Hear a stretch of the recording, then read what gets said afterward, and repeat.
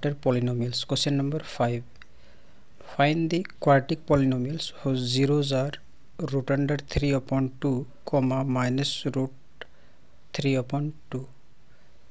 तो इस क्वेश्चन में हमें क्या क्वाड्रेटिक पोलिनोमियल फाइंड करने हैं जिसके ज़ीरोस दिए हुए तो सबसे पहले हम alpha equal to root under three upon two and beta equal to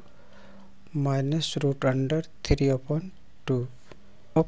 zeros equal to root under 3 upon 2 plus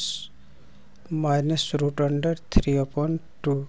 so is equal to root under 3 upon 2 minus root under 3 upon 2 so it is cancel. So is equal to 0 and product of zeros equal to root under 3 upon 2 multiply minus root under 3 upon 2 so is equal to minus 3 by 2 therefore required quadratic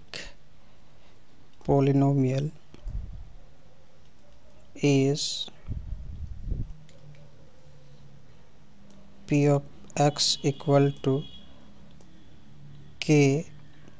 x square minus sum of zeros into product of zeros where k is any non-zero constant non-zero constant.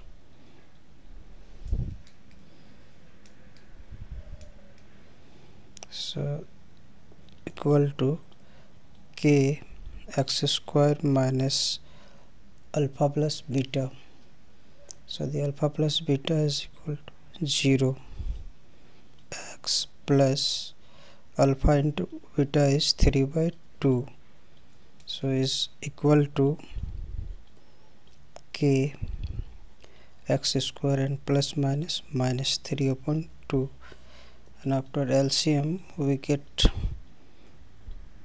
2x square minus 3 so is equal to k upon 2